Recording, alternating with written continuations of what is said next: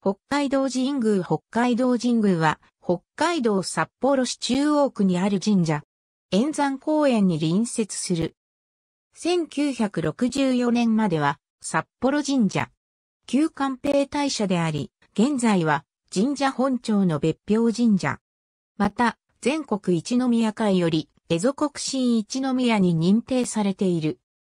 北海道の開拓当時からふと、千島に進出を進めていたロシア帝国に対する守りということで、大鳥居が北東を向いている。抹社である開拓神社には、間宮林蔵などの北海道開拓の功労者が数多く祀られている。北海道神宮数形法参会がある。北の志詰めという小冊子が社務所から発行されている。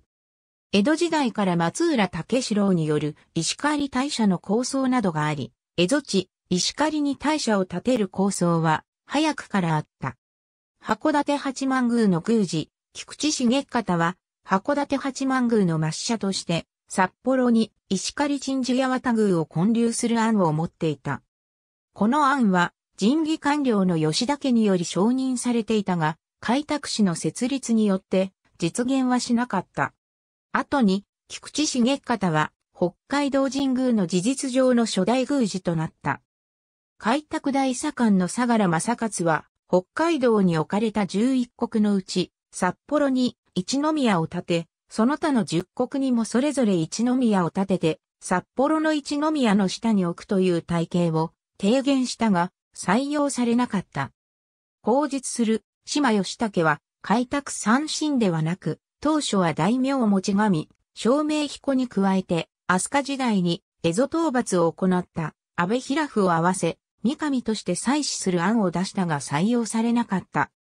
北海道の開拓は、明治初年から懸案事項となっていたが、開拓にあたって明治天皇は北海道鎮護の神を祭祀するよう直を発した。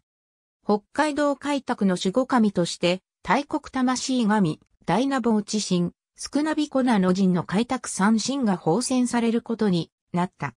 北海道鎮座震災が行われ、開拓長官の東、久世道富以下23名らが参列した。神義博、中山忠康によって祭祀が行われ、三面の新京が東、久世道富に託された。開拓士の一行は、英国船テイルス号で品川から函館へ到着した。東、久世道富は函館に赴任したが、函館は北海道の南端にあり、全土を干渉するにはより中央部に行かなければならなかった。そこで、東、久世道富の名城として、島義武が三神教を携えて、札幌に赴くことになった。島義武は自ら身体を背負い、来電、黒松内、岩内、余市を経て10月に千箱に到着した。札幌に感謝が完成して、すぐの12月3日に札幌に移った。これより古く、安政4年から福島出身の葉山聖太郎が札幌に住み着いていた。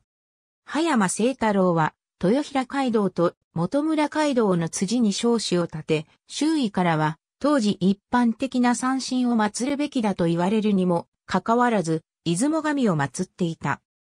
札幌に着任した島義武は、明治天皇から預かった開拓三神をすでに、葉山聖太郎が札幌で祀っていたことに感銘を受け、1870年5月に北海道石狩国札幌郡の創生川下藩に仮社殿を作り、感謝から神を移して開拓新直祭者とし、北海道一宮と称した。仮車のあった場所は二通りの説があり、定まらない。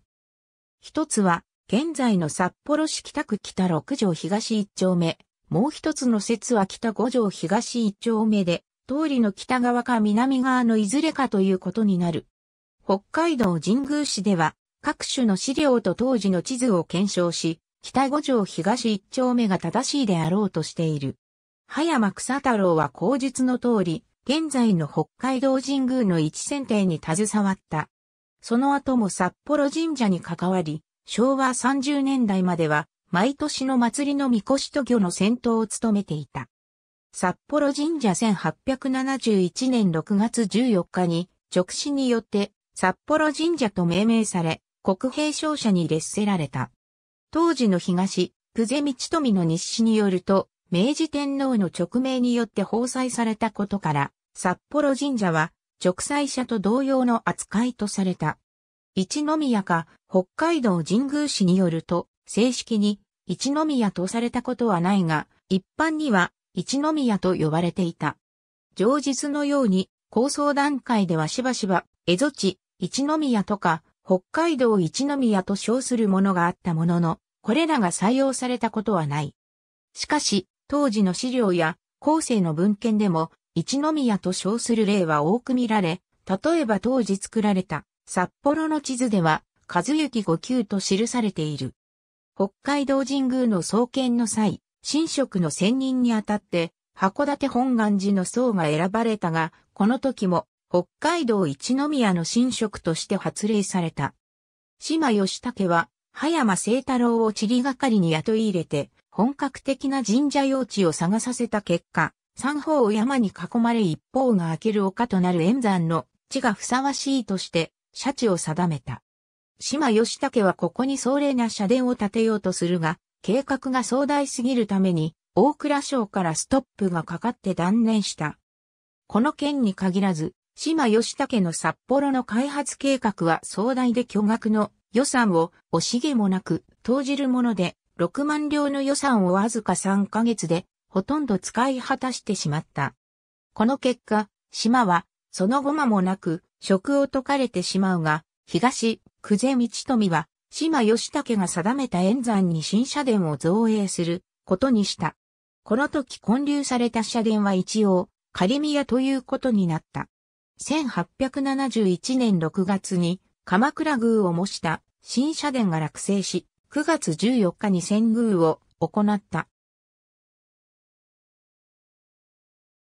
翌1872年には官兵商社となった。しかし開拓士の職員にとっては、この昇格は必ずしも望ましいものではなかった。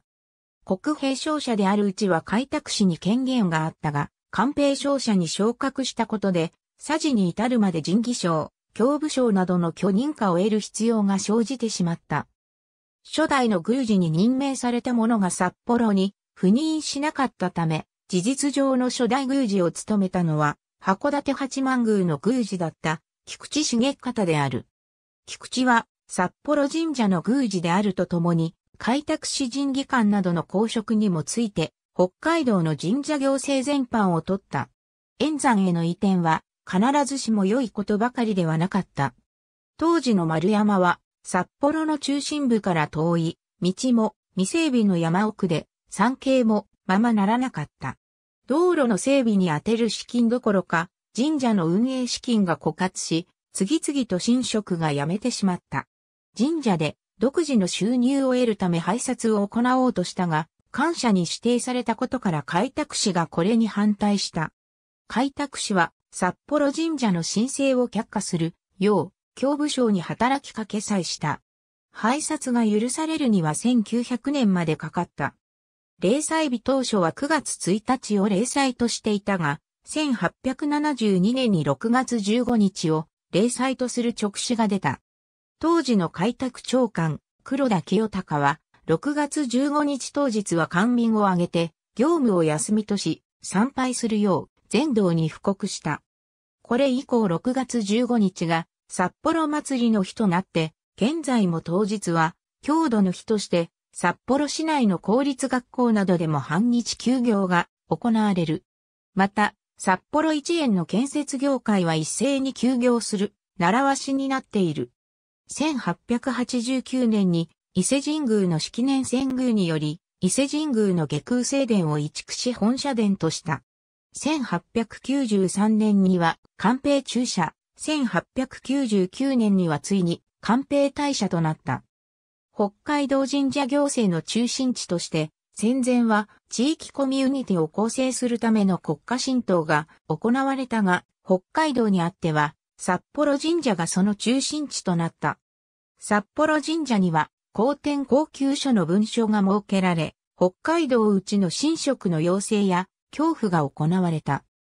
これ以前に北海道の各地にあった神社は各地方の人々の個々の信仰によって建立されたものだったが、これ以降、公式に認可される神社は日本の再生一致の政治制度の一つとして建てられるようになった。北海道における札幌神社のありさまは、後に台湾、朝鮮などに建立される外地神社のモデルとなった。第二次大戦後は神社本庁の別表神社となった。1964年、明治天皇を増資し、社名を現在の北海道神宮へと改めた。1974年11月10日に何者かに放火されて、本殿、宿死殿、内拝殿などが全焼。全焼した建物は4年後の1978年に再建された。境内抹社。北海道開拓功労者37柱を祀る。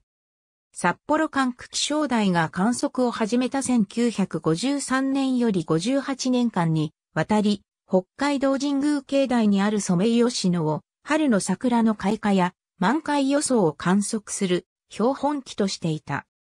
しかし樹齢約80年の老木となり、観測が難しくなってきたため、2012年より札幌管区気象台構内のソメイヨシノに標本機を変更している。ありがとうございます。